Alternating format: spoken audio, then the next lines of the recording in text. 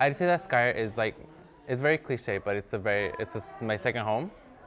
It's like a place where I always feel safe and I will always find the perfect energies here.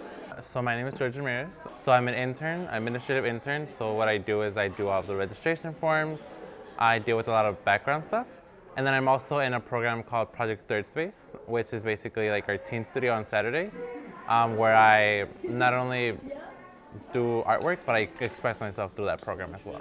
I am the Assistant Director of Development at SkyArt, which means that I fundraise and find partners who want to support our work. SkyArt is an art center in South Chicago and we provide free visual art programs to youth um, from ages 3 to 24, although most of our youth are from 7 to 14, about two thirds of them are 7 to 14. If you already are getting started and you already... Art is basically at the center of what we do, but we're, I think, more than anything about social justice and helping with um, equality, and that's why we are in South Chicago. We serve a particular population um, that might not be getting their fair share, and so that's why we're here. We believe that no matter what zip code, all participants and kids deserve um, to have free, high quality art programs.